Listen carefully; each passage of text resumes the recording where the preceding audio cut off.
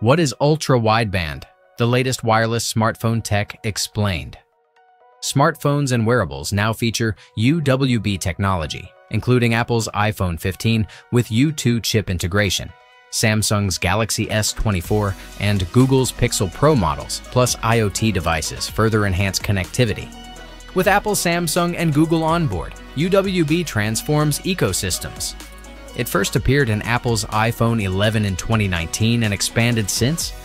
But for now at least, you would be forgiven for not knowing what ultra-wideband is. This may change in 2021 as practical uses emerge.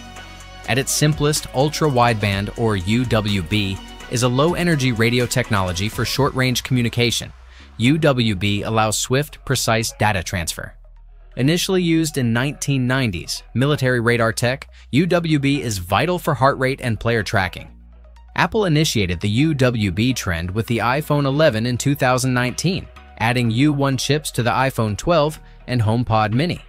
Users can seamlessly transfer music or calls to the HomePod mini. Bluetooth offers similar functionality, yet lacks UWB's pinpoint accuracy. Tile develops a UWB tracker with Apple's AirTag and Samsung's UWB SmartTag, enhancing precision. As well as greater accuracy, UWB is a more secure means of data transfer than Bluetooth and NFC. UWB's future is hinted at by its alliance members, iRobot, Hyundai, Oppo, Bosch, Qualcomm, Samsung, Cisco, Sony, Facebook, and Tile. We don't know yet what the future will hold for UWB use, it enables personalized device actions, ensuring UWB's practical success through cautious rollout. Go to GearBrain for more information.